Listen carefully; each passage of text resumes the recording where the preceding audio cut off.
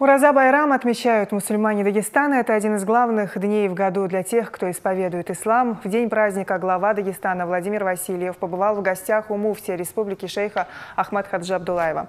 Руководитель региона поздравил муфтия с окончанием месяца Рамадана и с наступлением светлого праздника Ураза Байрам.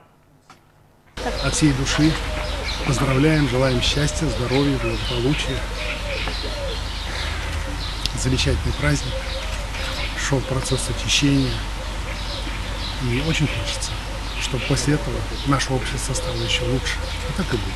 Мы сегодня об этом говорили, причем представители всех религий и наши представители правительства были едины в этом, что нет более благородной задачи для всех нас, как улучшать жизнь наших жителей. Спасибо. С праздником. Спасибо большое. А что он желает, я в этом даже не сомневаюсь, что оно так будет. Это с моей стороны, думаю, достаточно для всех дагестанцев. Все, что они говорят, Аллах сделает, даст им силу притворить вот это.